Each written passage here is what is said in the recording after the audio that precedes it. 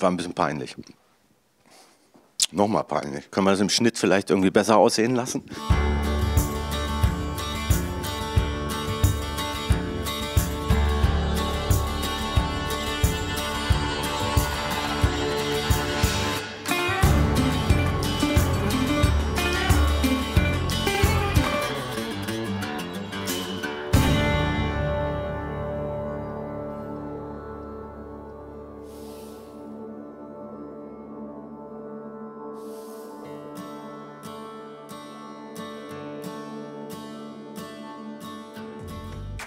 Ich bin Thorsten Neumann und ich äh, mache das Filmfest in Oldenburg in diesem Jahr zum 23. Mal.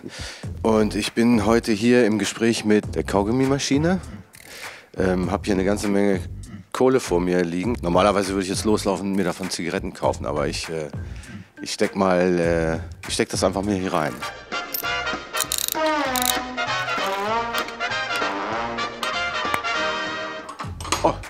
Verdammte Axt. So, es ist äh, kein Kaugummi. Ganz harte Frage. Warum funktioniert gerade ein Independent Filmfestival in Oldenburg so gut? Interessanterweise die Oldenburger, von denen man glaubt, dass sie relativ kühl und zurückhaltend sind, äh, ganz heimlich in sich drin was unheimlich Experimentierfreudiges haben und dass die sozusagen ausgehungert ähm, übers Jahr dann ähm, sich auf das Festival einlassen und so diese verrückten kleinen Filme mit total viel Lust irgendwie angucken und entdecken. Und deswegen ist das genau das Richtige für die Oldenburger. Das ist das Geheimnis von Oldenburg. Die Oldenburger sind das Geheimnis von Oldenburg. Nächste. Man soll ja aufhören, wenn es am schönsten ist. Nach dem Besuch welchen Wunschgastes würdest du ans Aufhören denken? Eigentlich war unser Anfangsplan immer, wir haben mal irgendwie gehört, dass die Regiehelden aus, den, aus dem New Hollywood, aus den 70ern, ähm, sich ähm, einmal im Jahr zu einem äh, Abendessen immer verabreden und immer treffen. Das machen die seit ewigen Zeiten. Und die sich immer treffen sind ähm, Steven Spielberg, Francis Ford Coppola, Brian De Palma und Martin Scorsese. Wenn die hier zusammen in Oldenburg auflaufen, dann höre ich sofort auf. Okay, Leute, ihr könnt euch also auf 100 Jahre mehr Filmfest Oldenburg freuen. Worauf freust du dich beim diesjährigen Filmfest besonders?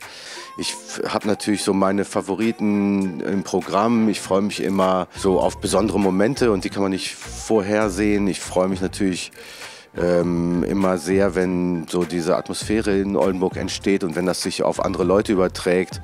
Manchmal ist das furchtbarerweise so, dass kurz vor dem Filmfest ich mich immer besonders auf den Sonntagabend freue, wenn alles überstanden ist. Komischerweise. Und dann freue ich mich schon auf das 2017er Festival. Oh, das ist ein Joker. Ach, super.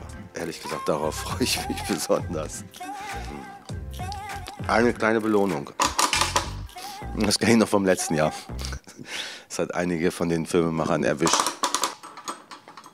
Da sind gar keine Fragen mehr drin, Leute, hört doch auf.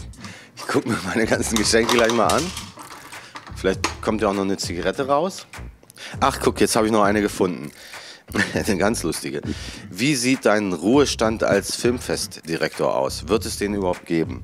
Weiß ich nicht. Ich finde diesen Gedanken ja sowieso uninteressant, ehrlich gesagt, dass man irgendwann meint, mit dem, was man, was einen im Leben vorantreibt, irgendwie aufhören zu müssen.